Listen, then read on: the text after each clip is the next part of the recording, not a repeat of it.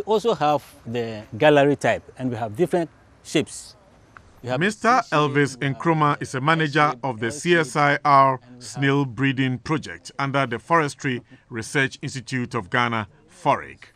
The snail breeder is one of the CSIR's snail farm demonstration centers located at Fumesua near Kumasi in Ashanti region. This is Achatina achatina snail, the dominant species referred to as Nwapa by Akans of Ghana. It bears black and yellow strips on the shell. There is also Ac marginata, locally called pobiri, found everywhere in Ghana. Achatina fulica is the species of snail that climbs trees. Achatina reticulata is the white snail. The scientists breeding snails discovered that snails come under attack from pests when snails are heaped together. We have this structure, and this structure, we've covered every part of it, just to avoid a particular a kind of pest we called Alluaudihella flavicornis. They are the type of pests that normally attack snails, especially, especially when they are congregated like this. And that's the reason why we covered it, every part of it, to avoid the incidence of the mortality in our farm. Another safety device for snails in cage are plantain leaves placed on soil or the substrate. The snails sleep on the leaves or hide under the leaves to avoid pests. The scientists breeding snails point at a wooden cage for snails, saying it was built in 1994 but stood the test of time because the wood is durable. It is recommended over cages built of fiber.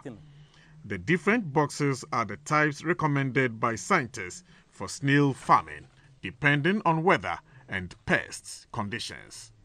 There is a cage made of nylon mesh purposely to deny the snails the chance of escaping. The perforated leaves in the cage are kontomire leaves used for stew, but also a favorite feed for snails.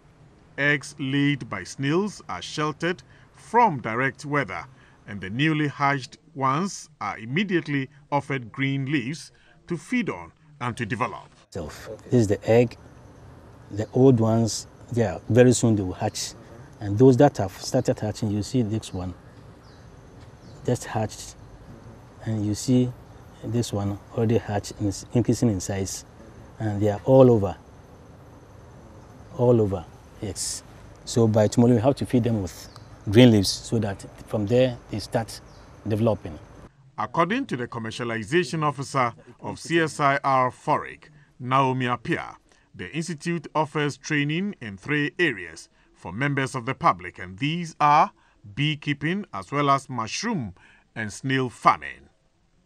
FORIG has been researching into forest and forest-based related issues for so many years. But we have also distinguished ourselves in some, by offering some form of capacity building to industry players. And we do these things mainly by organizing training sessions in snail farming, beekeeping, and mushroom production. Normally, our training sessions are in two forms. We have the theoretical aspect, whereby we normally discuss issues related to each and every technology. So if it's snail farming, siting of the location, breeding, management, disease and pest, and the like. There are 43,000 species of snails, which are grouped under six broad types. Their habitat is dense gardens. Snails have no spinal cords nor brains, but neurons which control body parts. Health benefits of snail consumption include minerals such as iron, magnesium, and calcium. Snails contain essential vitamins like vitamins A, E, K, and B12. Altogether, these minerals boost immune systems of humans. Napoleon Atukito reporting.